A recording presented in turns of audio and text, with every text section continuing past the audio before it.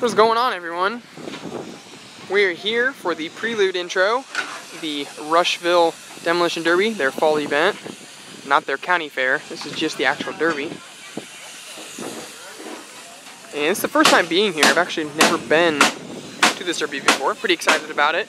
Also going to be filming a new event you guys have never seen me film before. We're going to be filming, well, they're going to have first the, uh, or last, I mean, the stock demolition derby. First they're gonna have the autocross derby series. And what that is, that's what a lot of these cars here are for. It's pretty much a dirt track style race, except you use demolition derby cars for it. It's a lot more rougher than racing, so it's gonna be hitting and bumping as you're racing around the turns. And there's also a couple of small dirt hills built into the ground that hit, your car will hit and kind of throw it up in the air on the straightaways.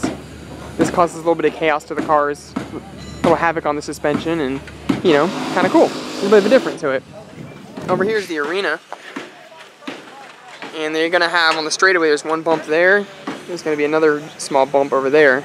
It's just a little bit bigger than a, uh, almost a speed bump you would see in parking lots.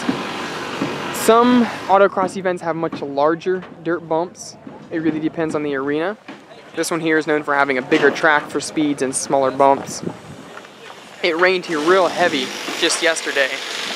So we're lucky they got the track cleared out as good as it is. They scraped it a lot, pulled a lot of mud out of here and drained a lot of water out of the arena. The very center there, where all the, uh, you can see the small dirt hills in a square, that's where the actual derby is going to be held later on after the races. So I got seats up here in the main grandstands.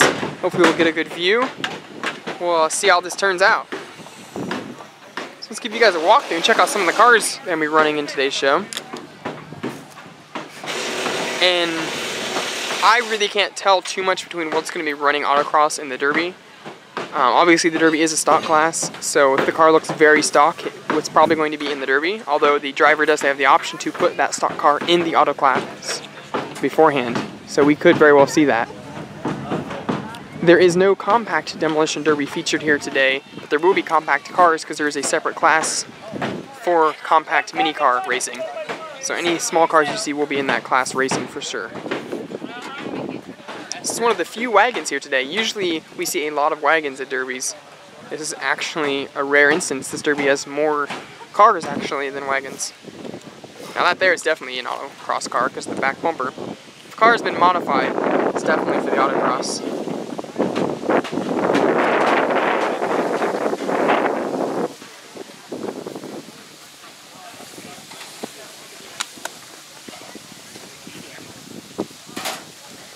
We're hoping the weather will stay away. It's pretty cloudy right now if you look up in the sky.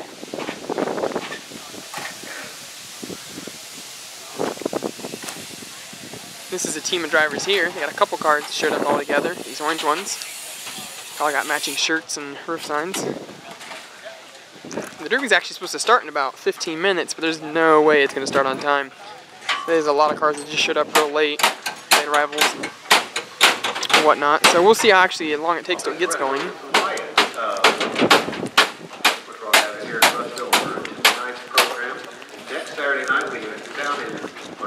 This one's here for the autocross, I believe. Could be wrong. No?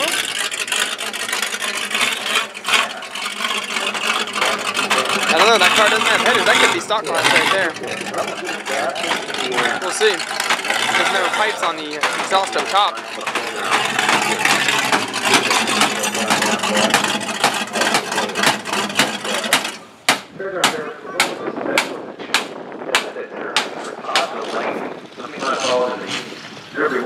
This car's seen a lot of uh, weathering. You can tell by the rust. It's been sitting out in the rain and snow. Seen a rough, rough time on this car. The actual firewall is bent on this car real good. If you look right there in the middle, the firewall's bowed up. It's supposed to be straight across. That thing must have took a really hard hit. Looks to me on the driver's side fender, a little bit here on the passenger side. Buckled that up. It's got a cage inside, so no worries there.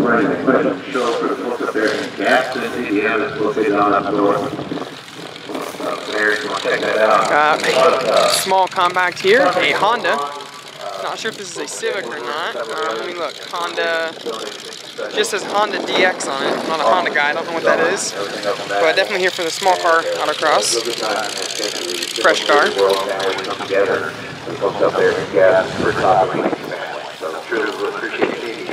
There's actually not too many fresh cars here, surprisingly.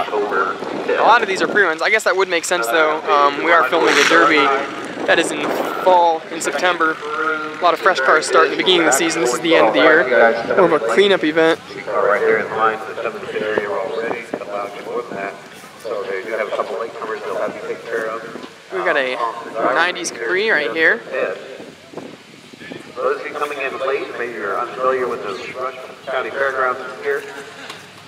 Some more cars showing up right now as we speak. Right there's a compact for the race, and can't tell what that is down there. Looks like a full size coming in right now. Outside of turn one, the spectator areas, your restroom facilities. What class you guys running in? Behind my announcer booth are your- your concession Okay, what's what? Okay. Different kinds of sandwiches, the fries. Do you guys know the lineup yet? What they're doing? When? For no one knows. I keep asking. And Take care of right here behind the announcer. yeah, there you go. Other than that, uh, let's see. One, So these are both running the actual three derby. Cars coming in the pit, four cars coming in the pit areas. We're trying to get things rolling. You can imagine the headache. These uh, are for the exhaust inspectors manifolds as in they here. to get the show These kind you can just ready to rock flip these over. It depends what kind of engine you have, and you can use the actual manifold stock exhaust to make your own header. It's a very cheap and Uh, easy way to do that. You'll notice they have the front of the car covered with the hood. A lot of derbies require this. Whole lot of action Um, you, have to have that there for the fan in case it would break apart. This car itself actually doesn't have a mounted fan on the Uh, engine. It has an electric fan. into your blanket or Still might be required. Not sure. to have that on hand. Once that sun goes down, be a bit of a breeze, and it will get a little chilly here down in 06. Looks like a uh, early Keep that in 90s mind, especially if you brought the Ford bubble top uh, car. just run around in nothing but 90s Crown Vic, I guess. T-shirt. Here's for the autocross. Looks like it's ran a couple times.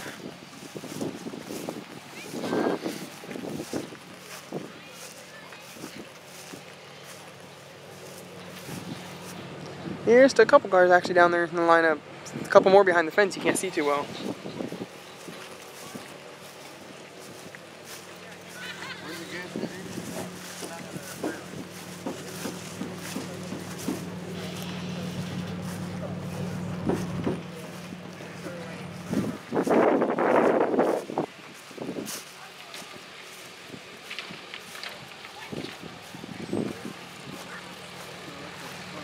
They're also gonna have a Power Wheels Derby. I forgot to mention that before I forgot. Just noticed a couple Power Wheels sitting around here. Kind of curious to see how that's gonna go. Also kind of curious to see where they're gonna put it at. If they try to put those cars in the arena, it's gonna be way too muddy for Power Wheels. It's gonna get stuck. And they're barely gonna move. They'd honestly be better off just designating an area out here in the grass, marking it off and putting them out here. Let this guy get through. Uh, I like the pits here. We'll comment on that if no one's ever been here before. The pits are nice, uh, a lot of room. Should definitely get here early to pick your best spot. But it kind of loops around in the back there. They got an aisle here. They have an aisle here. And you saw this little corner right here. Kind of real nice and secluded. You kind of pick what spots you want, have your cars at.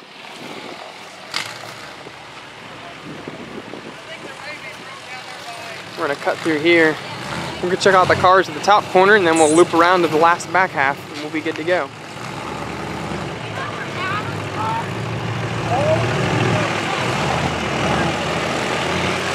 That car has no front bumper. That'll be interesting to see what happens to that.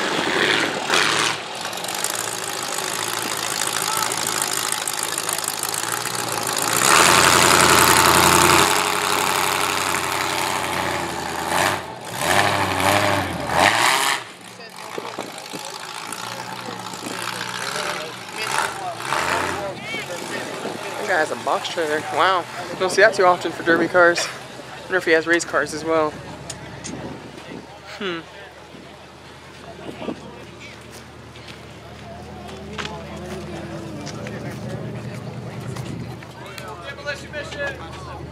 What up?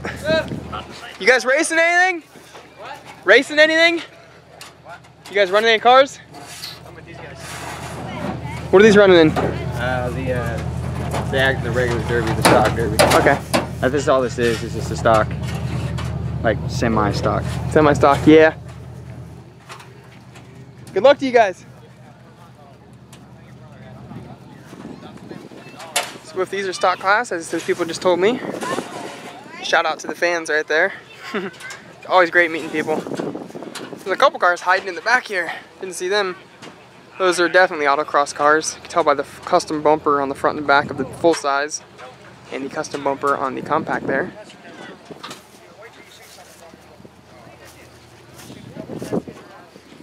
Mm-hmm, driver car. Not for long. I feel that thing will soon be in a derby. Got two compacts chilling out here in the back, running the autocross. I'm actually surprised the number of compacts showed up for the autocross. Pretty good turnout.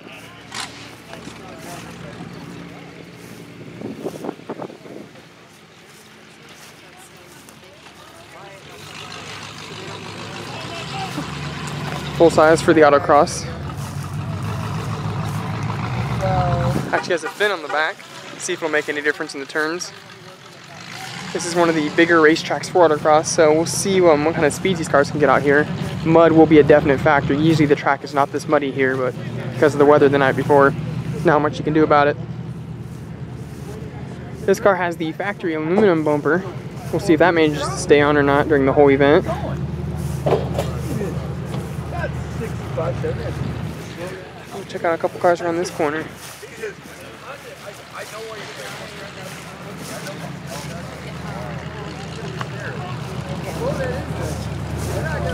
Now or about two minutes? All right, we're not anybody's This car's favorite. heavily pre-ran in the back. Okay, all right. This the one he ran at Hancock? Remind me. Yeah, but you know, if we ever have any. Probably win.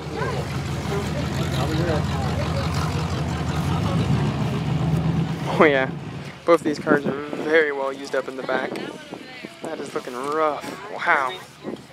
Ugly car war. Car war. He'll win. Hmm. Because Sam will. And he goes over to Bobby.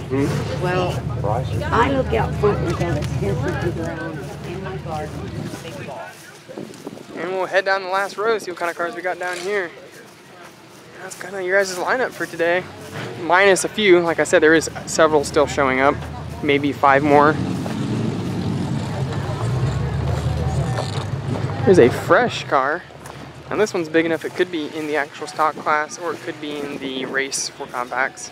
I would bet it's for the race, but we'll see.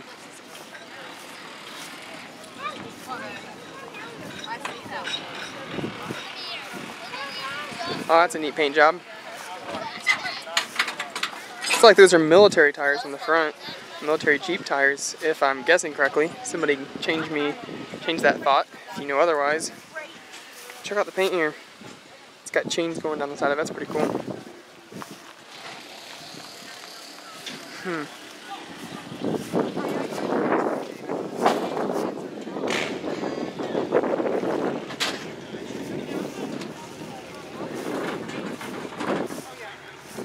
Car is heavily pre-bent, very heavily. It's definitely going to go bend up, no doubt about that. I don't know if uh, because it was really rusty or uh, just because that's how these cars bend. They wanted to help it because it bends down bad. Wow, could have been a wreck. Who knows?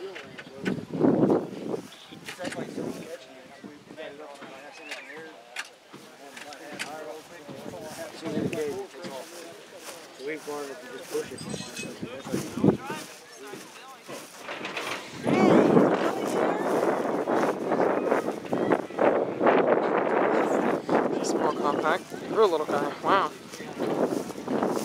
Take 455 by 4. Hmm. How much you get for 30.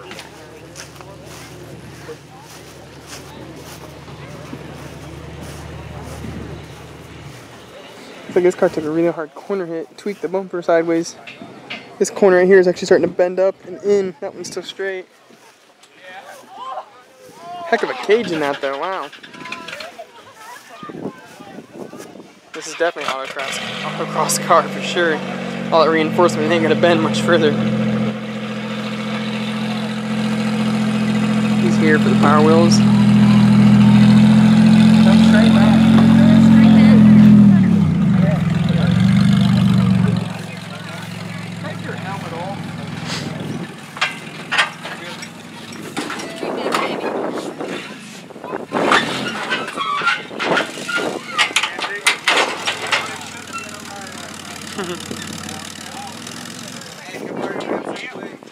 Stock car right there for the Derby.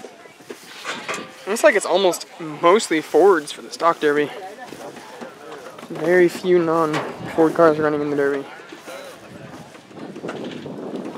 Which is how it's going to turn into now for the future of Derbies. Mostly you're, you're going to see mostly 80s and 90s Fords, uh, with the exception of a few 80s GMs. Just because Ford was the only car company to continue making full-framed cars for such a long period of time. The other companies all quit making full frames much, much sooner in the 90s.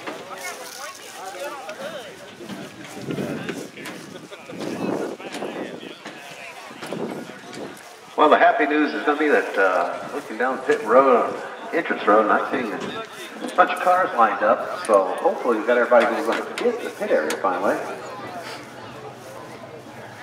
It's got to be stock class right there for the Derby. So those latecomers there. Trying to get through the inspection Custom-made bumper on the front of that. Hmm. But other than that, we continue marching towards the.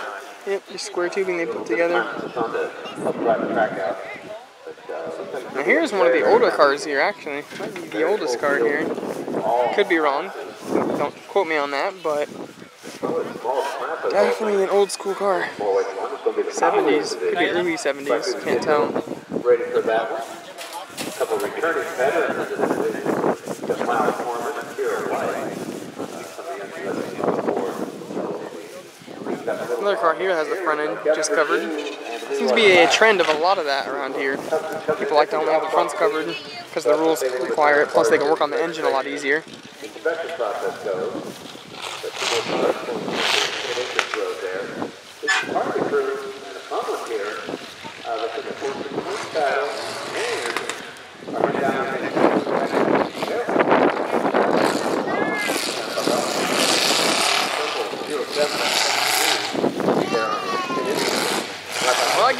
Lineup. One more hiding over there. Nice uh, driver someone brought. Old school driver car here from the 70s. So there's you guys' basic lineup. Stay tuned for the Derby. We got power wheels, uh, compact autocross, full-size autocross. There will be heats for the uh, full-size autocross. Not sure on compacts. Car count pending. And there should be one run event for the stock class Derby.